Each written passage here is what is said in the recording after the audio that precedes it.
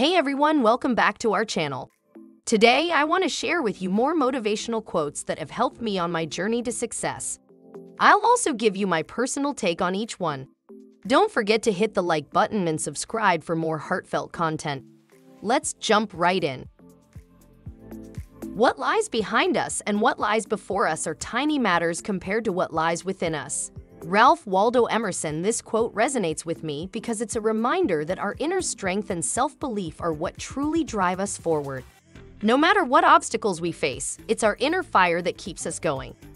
And now one from Yeats. Do not wait to strike till the iron is hot, but make it hot by striking. William Butler Yeats I adore this quote because it teaches us the importance of taking initiative. In my life, I've found that waiting for the perfect moment never works.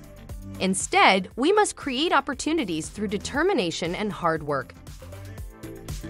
Believe you can, and you're halfway there. Theodore Roosevelt, this quote has helped me immensely, especially during times of self-doubt. Believing in ourselves and our abilities is crucial for success, and sometimes just having faith is enough to propel us forward. The best way to predict the future is to create it.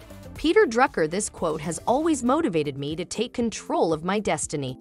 I've learned that the only way to truly shape my future is by taking action today, rather than leaving it to chance. Remember, we will bring more quotes, so remember to like and subscribe.